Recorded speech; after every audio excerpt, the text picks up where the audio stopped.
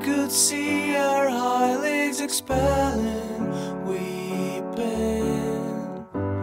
You could hear them rolling like big bones, tracing cold tracks in a rose face. She is doing everything she can just to grab your attention. When it comes to Chloe's hair,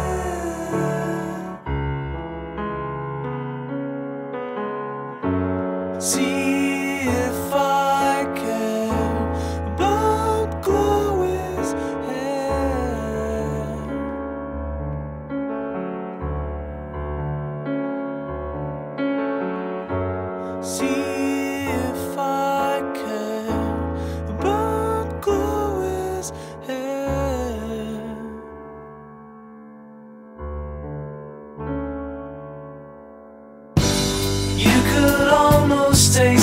sex she's having